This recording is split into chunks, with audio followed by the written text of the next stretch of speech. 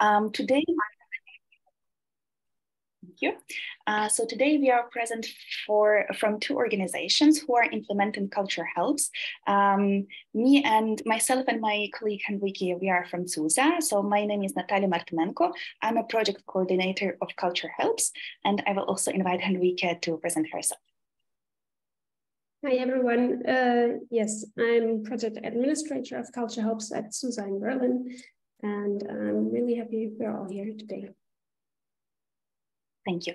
And also uh, the second organization who is a partner of Culture Helps is Insha Osvita, and here is present Lilia. Lilia, I welcome you to present yourself also.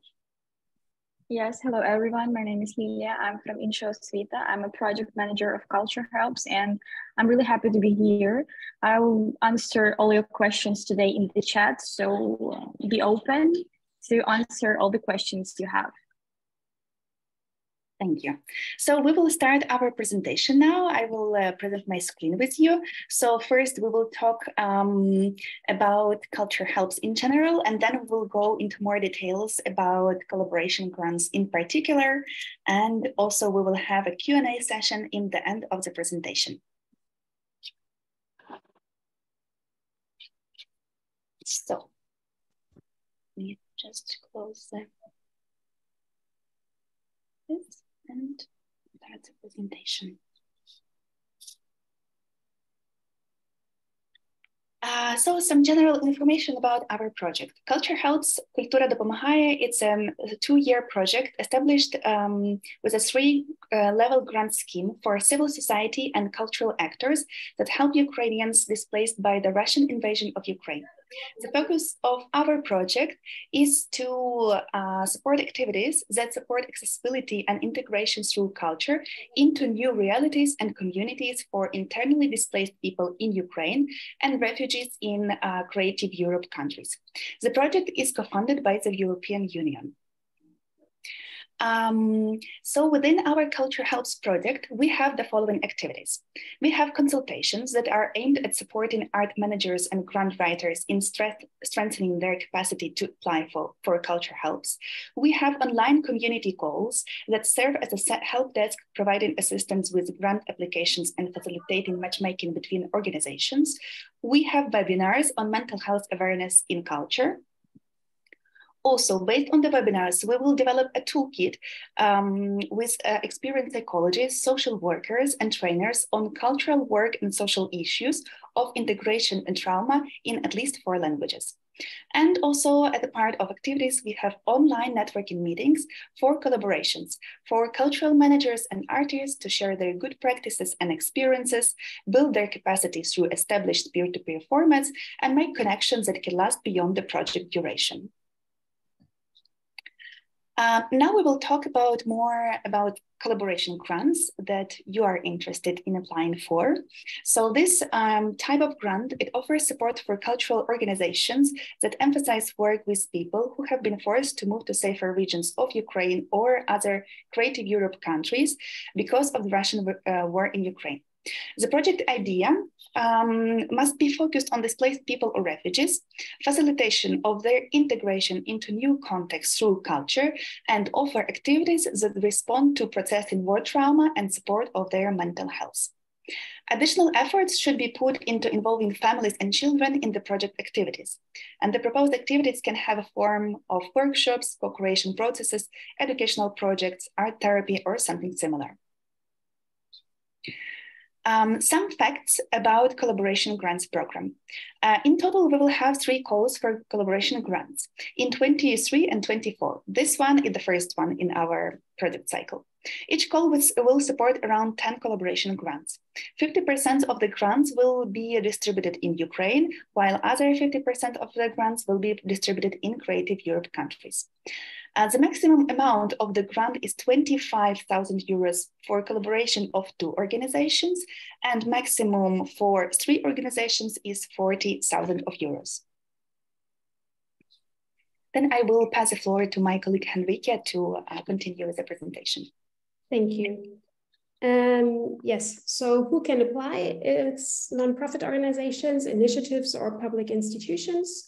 And all applicants need to prove that they're not for profit work uh, doing.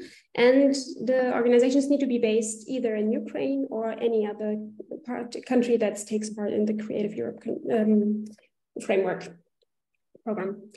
Um, so at least one of the applicants need to be needs to be actively working on the integration of displaced people or refugees from Ukraine into new realities and communities through culture. And there is in particular a focus on families and children in that work. Um, and the collaboration pro uh, project that you will be conducting cannot be co-funded by any other creative European funding scheme. Mm, thank you. Um, yes, again, who can, can apply for the support? So it's a collaboration with either two or three partner organizations. If there are three partner organizations, two can come from, uh, can be registered, registered in Ukraine and one in another uh, Creative Europe country, or one can be in Ukraine and two in different other Creative Europe countries. If you do not yet have a partner, that's not a problem because uh, we will come back to this in a moment. We will offer community calls in July where you can meet potential other partners to form a collaboration. So what's the application next steps? Um, the applications and the proposed budget, you can find uh, the links for this on the to the website, which is linked here and we, which we will also apply uh, supply for you. Then the application needs to be done in English and if you have any questions, technical or others, please send an email to our culturehelps at zusa.org uh, website, uh, email address. The timeline of this call is that by the 3rd of August, um, we close the applications. The, then we take August in order to select uh, the um, grantees through an independent jury and all the activities that you would like to do in your collaboration project need to end by March 31st next year. And after the ending of the project activities, you have a month uh, for the reporting, that is the narrative and final financial report. Uh, so the latest by April 30th, this should happen. Thank you. And then we come to the selection process and criteria. The, as I said, the selection process, first, um, we have a check of eligibility. So please make sure that your project application um, is eligible for the call. And then the, all the proposals that are eligible will be evaluated by an independent jury. Um, so what's this jury taking uh, into consideration will be the relevance to the grant objectives, the organization's portfolio and project concept, then the quality and uniqueness of the partnership between your partner, your collaboration partners, the feasibility of the project concept, uh, the contribution to building a long-term relation between the partners, and uh, environmental awareness uh, that's included in your application proposal. So as I said, if you do not yet have a partner, that's not a problem. We um, maybe uh, in case, maybe you can turn off your microphone. That would be great. Thank you. Um, thanks. So yes, if you don't have a partner yet, uh, we have two community calls on July 4th and 18th at 3 o'clock Berlin time, 4 o'clock Kiev time uh, where you will be able to meet other interested partners, uh, people that are interested in doing a partnership, and we will moderate this community call in order to um, bring you together or potentially working together. Thank you. Yes. Yeah, so here uh, I will take also the floor to continue with some frequently asked questions as, as we receive now a lot of inquiries into our emails. Um, so we just collected some main points that were like most popular among these requests. Um, so in the eligibility criteria, you can see this uh, point that will be evaluated by the jury, the uniqueness of the partnership. What does it mean? It means that um, the proposal should uh, contain, like this proposal that will contain innovative and unconventional collaborations that bring together different organizations, individuals, or entities to address the intersection of culture and mental health in new and creative way, will be more, will receive more points in the end. So this, um, please just take this in mind when you will be um, creating your proposal. Um, also about budget limitations. In our um, open call text, you can uh, find the link to the budget file. Please um, learn it also uh, fill it when you will be applying for the um, for the grant. But um, if you ask, if there are any limitations to the um, budget? So we do not, we cannot support any like infrastructural um, uh, accounts. Uh, also, the question can be, for example, if you are a profit organization and can you apply, for example, theater? Yes, so you can apply in this regard, but also the leading partner in your collaboration should be a non-profit organization. And also your project will be checked for being non-profit. So please also take this in mind. Um, another also like very popular question, what are the eligible countries to apply for our uh, collaboration grant? So all EU countries, they are part of Creative Europe uh, program. And also on our website in the text of the open call, you can find the link for the countries from non-EU participating countries, but who are in the list and who are eligible to apply. For example, Ukraine are in the list of these countries. And also, uh, there are some questions. For example, there are two organizations from EU countries. Are we eligible to apply? Unfortunately, no. We can support uh, collaboration of two organizations only from Ukraine. But in case if you are like if you are a project of two organizations from EU who are interested to apply and have a nice project idea, we welcome you to participate in our community calls in order to find a partner from Ukraine also. So at this point, um, we will stop our presentation. Thank you very much for your attention. And now we open floor for questions from you. So you can just uh, switch on your mic and start talking.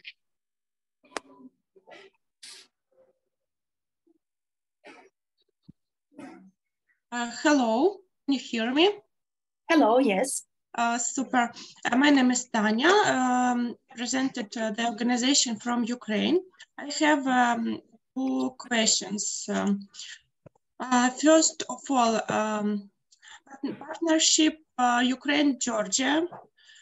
we have project on art rehabilitation of children affected by the war in Ukraine. Um, we organize um, the rehabilitation in Ukraine and in Georgia and organize um, the ex uh, exhibition of, um, um, the participants uh, this rehabilitation. Uh, is uh, it possible uh, for your program, that project? Um, yeah, in general, it's possible, but it also depends on the background of your organizations. Um, in the eligibility criteria of the open call text, you can also find this point that uh, at least one organization who are applying for collaboration grant needs to have a background in cultural um, field. So it's mm-hmm. important, for example, if you are more working on health issues uh, like rehabilitation, so it's important that you collaborate with a cultural organization. Mm-hmm. Mm-hmm. Yes, I understand. Thank you. Uh, and one more question is, um, uh, in a project, uh, in budget, uh, can we rent uh, the apartment for the um, for the people who work uh, in uh, our project uh, um, in, um, in in in uh, from individual person. Uh, do you understand? Uh, rent apartments from individual person, not from the entrepreneurs. Yeah, thank you for this question. I think that this is possible, but maybe also uh, Henrike would like to add something to this point. Yes, I uh, maybe I have a, a, question to this. So it would be, let's just assume uh, people coming from Georgia to Ukraine for a workshop, and they Yes. for a certain amount of time would stay in a private room rather than a hotel, right? Mhm, mhm. Yes. yes. Yes. As long as the person giving the room uh, can provide an invoice, we need invoices for Mm-hmm. recording the document, the, the costs. Then is, this can also be a private person. Ah, yes, yes, I understand. Thank you very much.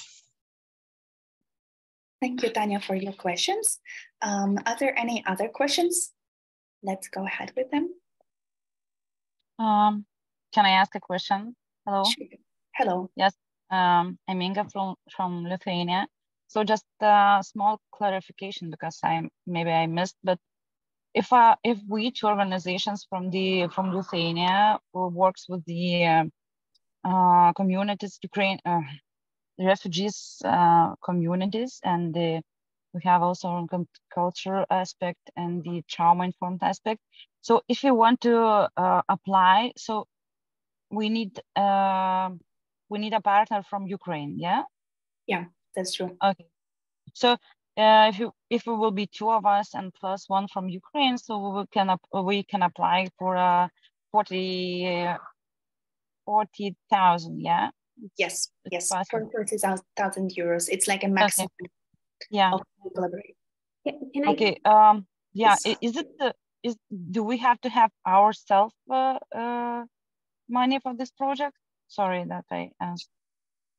I think that Henrike wanted to add something to the previous question. very sorry. So it would be two, you, two organizations from Lithuania, of one Yeah. from Lithuania and one from another country. No. So um.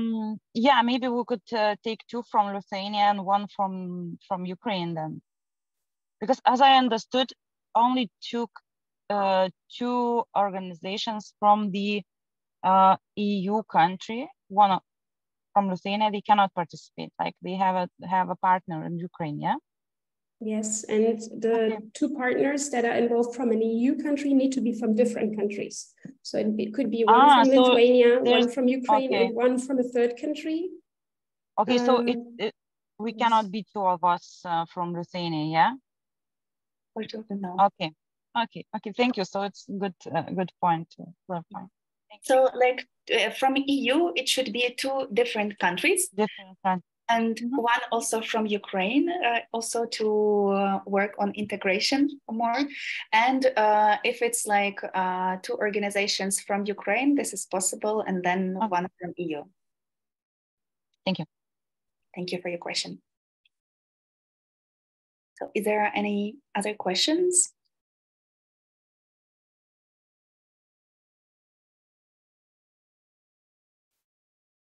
Oh, I see something in the chat. So I will, um, if you would like, Inga, you can speak out loud, of, or if not, I can also read it out loud and then also respond it. to. Uh, yeah, I can also speak, uh, but I just can't um, uh, get on my video. I'm sorry for this. I, I have a question. Can also a cultural product be funded, like for example, um, a film or or special uh, process in a film, like for example, a post production, uh, or is it like needed that um, um, you know this kind of social um, work with people on on site is also involved? I think that in this regard, I would need um, maybe more information about this post-production of a film because unfortunately, like uh, in general, our uh, grant is not focused on like production or post-production of films because its main focus is to um, like to work with cultural activities that uh, integrate people into new communities, um, like people from Ukraine into new communities where they are now. So i'm not sure but it also like depends on the background of um, like now it's uh, for me it's difficult to say maybe you can tell us more details about the background of this post production and we can see Yeah, yeah. Actually, a film uh, is quite about this topic. Uh, it's about my mother, who is a refugee from Ukraine in Germany, in Berlin, um, and going through processes of integration and adaptation to a new community. And um, yeah, the idea would be also to show this uh, film when it's ready, uh, also to other uh, Ukrainian refugees uh, here in Germany, and also to use it somehow to connect them and to overcome difficulties. Um, yeah, but what I'm not myself sure yet how it could be interested mm, also for for Ukrainians in Ukraine. So um, mm. yeah, searching. Yeah, at this point, um, but also uh, like our collaboration grant, it means that like there should be at least two organizations that are applying for it. So I'm not sure if you are like representing also with your project if you have uh, this criteria. Uh, no, I have one organization now only from from Germany, so it would mean I would search for for Ukrainian partner. Mm-hmm. Yeah, uh, so um, yeah, in this regard, it would be also good to have a partner. But actually, I think that um, our main focus of the projects that we will be working with and funding that are, you know, like more direct um, direct activities that are connected to our target audience, like to refugees and internally displaced people uh, with integration into communities. I'm not sure that film can be applied for uh, this type of grant. Mm-hmm. But if it's connected with kind of event uh, uh, afterwards, for example, that is like, yeah, having this aim to to help. Yeah, yeah, I think that it it was like what I meant at the beginning that it depends on the background. Like just mm-hmm. production of the film, I think that no. But if it's connected also to some activities, some like integration activities, cultural slash integrational activities for uh, refugees from Ukraine, so I think it can be considered. Mm-hmm. Thank you very much. Thank you for your question. I see one more question from Daria Levchenko. Daria, if you would like to speak out loud, you can um, uh, put on your microphone or otherwise I will read your question. Uh, sure. I was just wondering if we could dedicate part of the project to a small mi scheme, like one or two grants for realization of a project. If, for example, in the design of our bigger project, uh, we have uh, a part where uh, refugees who or, people who are internally displaced develop the projects that will engage even more people into activities they produce if it's a project that has multiple parts, can we have uh, an article in the budget dedicated to the micro grants?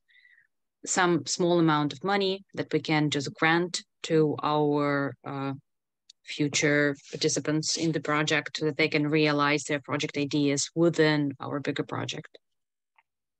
Yeah, thank you for your question. I think maybe Henrike, you can step in for answering. Yes, I think in general there is nothing no argument against it, it, as long as it makes sense within the bigger frame of your project. And it also has to be uh, like the, the, the micro grants then also have to be reported in the way that your overall project is reported.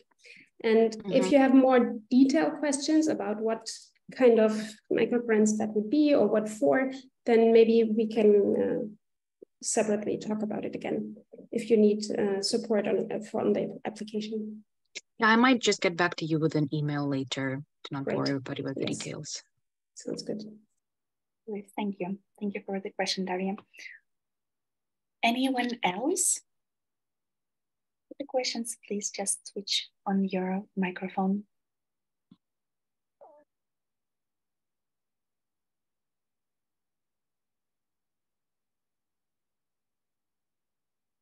Okay, I don't see any hands, any more questions. But if you come up, you just can switch on the microphone at any moment. But if no questions, I think that we uh, came to the end of our info session. I would like to thank everyone for participation and for your questions. Um, we will come back to you with a record of today's session and also with a document with frequently asked questions and with a presentation also. And you have our, you will have our um, email and maybe you already have it. Uh, so you can come up with any questions at any point and we will be also online consulting you. And also as uh, Henrike already uh, mentioned during the presentation, uh, we have community calls scheduled on 4th and 18th of July. For those who are interested to find partners for their projects, I welcome you to participate in these community calls and we will share the information about community calls very soon. So at this point, I would like to thank everyone and be in touch.